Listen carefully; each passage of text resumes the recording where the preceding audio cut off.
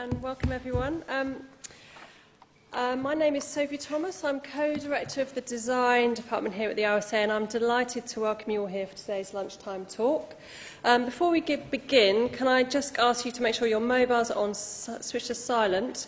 Uh, we are filming today's event so, um, we, and we're live streaming, so welcome to all those tuning in uh, via the web. And a reminder that the hashtag is not up there, weirdly, but it's uh, hashtag RSA Leadbeater if you want to get involved in the discussion on Twitter. Now, it's my great pleasure to introduce today's special guest speaker. Charles Ledbetter is a leading authority on innovation and creativity and an advisor to governments, cities, organisations throughout the world. He has a long distinguished track record of involvement in social innovation and is the author of best-selling books such as We Think, Mass Innovation, Not, Not Mass Production, as well as many influential reports such as The Rise of the Social Entrepreneur. He joins us today to share some of his thinking from his new book, The Frugal Innovator. Um, and in the book, Charles looks at a wave of innovations and innovators from Latin America, Asia and Africa who are responding to tight constraints of capital and resource by devising low-cost solutions to pressing social challenges, which are lean, simple, clean and social. Now, frugal innovation is a concept, concept which chimes absolutely with the principles driving much of the RSA's current work in the design department and, and looking at design and manufacture. Um, our flagship programme, The Great Recovery, addresses some of the major economic problems and environmental challenges caused by the dominance of this linear take-make waste model of design, manufacture and consumption, which we're currently stuck in. We argue that there's a need to shift uh, towards a more circular system where we get the materials back into the system and through this is a uh, widespread application of good design thinking based on very local disruption and some of the same principles of simplicity and resourcefulness that Charles has been so powerfully advocating in his books. So it is with really great pleasure that, to welcome you to the stage today, Charles, and to learn more about the ideas in your new book. So without any further ado, I'm going to pass you over to Charles. Thank you.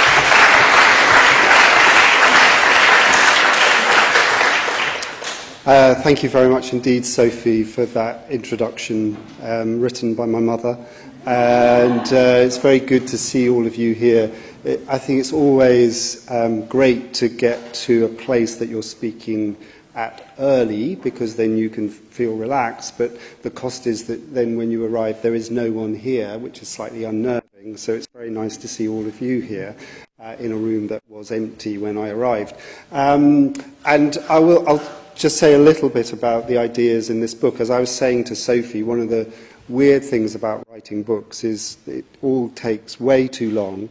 Uh, and then um, you've written the book, and uh, roughly speaking, I would say about six weeks after it's published, you realise what the book was really about and what you should have written. So I'm not really going to talk about the book. I'm going to talk about what should be in the book, or what is in the book but's not clear enough. Um, Uh, and just to say, um, this, I'm not the first person as ever to, to write about these things. Many uh, of the ideas that I'm talking about and some of the issues covered by um, C.K. Prahalad in his groundbreaking book, Fortune at the Bottom of the Pyramid, and by a group of Cambridge academics in a great book called Jugaad Innovation, which is about India. And so it builds on lots of ideas from lots of people, and it's an attempt to bring them together into, I suppose, a different story of innovation. So innovation, uh, if I ask you, I'm just going to ask you, you don't have to say anything, just I'm going to say the word innovation and you think of a company or a product. So, um, uh, you know, this is more like a cathedral than a shop. Um, it's a sort of place where we go to see sort of artifacts with special qualities that will sort of transport us into heaven.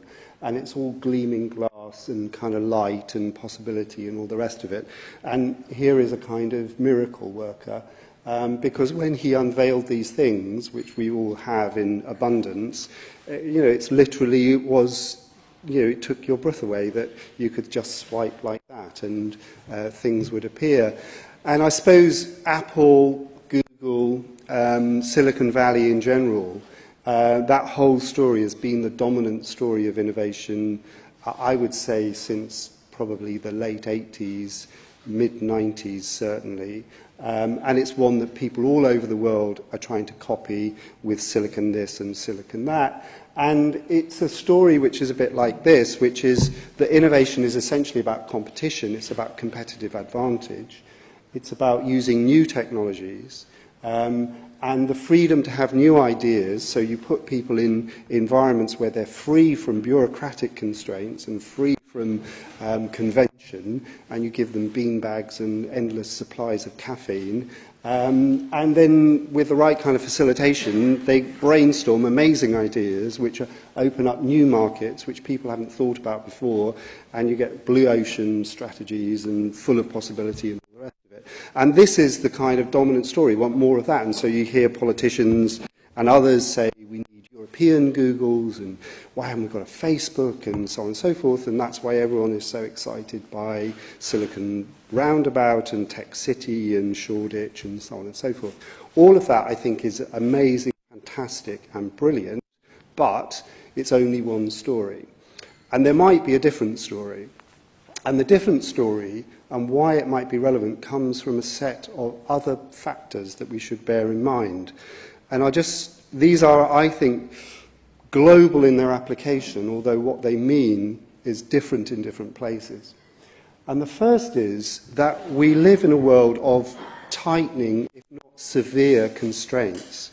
Um, so, uh, just anecdotally, I mean, I can't think of an organisation that I go to to advise them or talk to say, oh, we've just got so much stuff, you know, so much money, resource, we don't know what to do with it. Actually, all of them say we've got to do more with less. Um, we, we face tightening constraints on resources, uh, particularly perhaps water, but also forms of energy, precious materials and others, actually getting the resources for the take, make and waste system that's so was talking about is becoming harder and harder. We're having to press further and further on those limits. And at a more prosaic level, if you look at the kind of people who are becoming consumers around the world, they're in the developed world here, um, most people on middle incomes are not going to see their incomes rise very much. Um, the driving force of innovation in the post-war era uh, in this economy, which was the aspirational middle class, are not going to be the beneficiaries of huge increases in real incomes. On the contrary, their incomes are going to be constrained. In the developing world, it's people earning five to ten dollars a day and perhaps eking out small bits that they can invest in uh, precious uh, goods and services that really count to them. So I think one of the big factors in the world is constraint which means that people co who can innovate in the face of constraint become really, really important. The second thing is rising aspirations. So what's the biggest kind of single trend worldwide, the most potent force of social and economic change? It is that roughly 70 million people a year are moving to cities. So we're building the equivalent of six megacities a year the world over. What's pulling people to cities It's the possibility of better jobs, better houses, better education, better outcomes. Um, and so all over the world, people's aspirations are rising. The developing world, it might be aspirations to own a mobile phone, own a television, own a moped, maybe have a, a spare room at the back of your house, maybe have a flushing toilet, so on and so forth. In this world, it might be to have better quality, better standard of living, better balance of living in some kind of way. But there's no sense in which aspirations are dimming. So we face a world of, I think, tightening constraints and rising aspirations. And this is a world of kind of dissonance and conflict. How do you reconcile those two? Well, the third factor going in our favour is that we have apparently blessed with technology, now limitless uh, opportunities for collaboration. And those opportunities to collaborate in new ways, to create new models of organisation, to share resources and to create things together in more imaginative ways is the greatest abundant resource that we have. And so the task of innovators, I think, is going to be about how you meet severe constraints to meet rising aspirations using these opportunities for collaboration. What's the rub of that The rub is you can't do that without challenging the status quo, because all those new collaborative models will, in some sense, challenge, disrupt, or threaten established ways of doing things, which are more hierarchical, less collaborative, more entrenched, so on and so forth. And so, as a result, the world becomes more uncertain because small things can have big impacts, because new players can suddenly disrupt existing markets, so on and so forth. And so, again, this means that innovation, the capacity to act in the face of uncertainty, becomes really, really critical. So, in a way, making sense of what I've been, some of what I've been trying to do over the last five years, is I've been looking at people who, when faced with this combination of things, do not stick their heads in the ground and don't sort of embed themselves in the past, but come up with practical, really effective kinds of solutions. And I'll just introduce you to a little snapshot of some of the people I'm talking about. Um, so this is what they do. They, they meet constraints by creating these collaborative solutions, often by not inventing things, but by borrowing and reusing things, um, and establish, challenging established models. And often in their stories, one of the things that's interesting is how humble they are. Um, they don't want to be heroic inventors. They want to be non-heroic borrowers. And secondly, how often at the outset of their journey they were told by professionals and people who knew, you simply cannot do that. Or you simply cannot do that and you shouldn't do it because it's wrong. So um, let me introduce uh, a few of these people. This is literally the most creative, radical, revolutionary man that I've ever met. Um, and this picture was taken in his um, kitchen in Pune in India, then the fastest growing city in Asia. And his name is Madhav Chavan, and he's the founder of Pratham, uh, now arguably the largest and most influential educational NGO in India. And what Madhav did was take an idea that had emerged from the Mumbai, um, Mumbai University's School of Social Work to create low-cost preschool playgroups.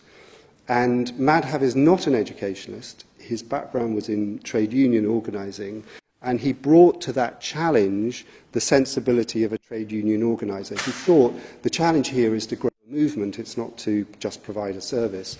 And I've got no resources. How do I do it? And so what he came up with was a way to create low-cost preschool, they're called Balwadis, by training very quickly in a kind of pretty rough and ready way uh, young women who graduated from school who themselves had limited opportunities to work, needed to work close to home for all sorts of reasons, but with this kind of training and a little bit of help could create a small micro business out of their front room uh, by educating um, a handful, maybe 10, 15 children. The price point for Pratham, and I've grown to really respect people who have price points which are really low, the price point is $10 a year. So how do you educate a child for $10 a year? That's a really testing constraint. And you can only do that if you think in completely new ways. So what Madhav and his team did was um, develop a resource that was underutilized and crying out for opportunity, using piggybacking on existing facilities, using a lot of community input as well. Pratham has educated 21 million young people. It's 500,000 Balwadis all across India. It's so simple, it spread like a kind of like a virus. And when i met him literally in this so this this uh, discussion that i was having with him in his kitchen i met him at like 10 o'clock at night. Uh, he was coming out of his last meeting of the day with his team. Uh, they've been discussing how to improve the maths curriculum in these preschool balwadis Um, we drove across town. At about half past midnight, his wife called and basically told him to get rid of me. And he said, yes, yes, yes. And then we carried on talking for another hour and a half. And he said, early on in their um, process, they had been introduced to McDonald, uh, introduced to McKinsey. And McKinsey had done this pro bono work and said, what you need to do is turn this into McDonald's, have a franchise, a kit, the same everywhere. And Madhav said, well, why don't we do it like a Chinese restaurant? You, you never go into a Chinese restaurant and think, crikey, this is a Chinese restaurant. I never realized. In other words, Chinese restaurants are absolutely obvious wherever they go, but there are no big global brands. So it's a global phenomenon, but there are no big global brands. That's because they follow the same principles, but apply those principles in different ways in different settings. So one of the lessons of Pratham, which is really interesting, is that this is not just small, this is scale. And it's scale because they adopted a very different kind of model. Uh, this is a second thing that comes from India, um, created by a guy called Gyanesh Pandey, um, who was an electricity engineer in Kentucky, went back to India, spent about a year, I think, trying to think um, his way through how to create electricity that was affordable and clean for rural villages in the rice growing belt of India, thought a lot about solar power um, and played with various things. None of them worked. And then, after about a year, came up with going back to an old technology, biomass gasification.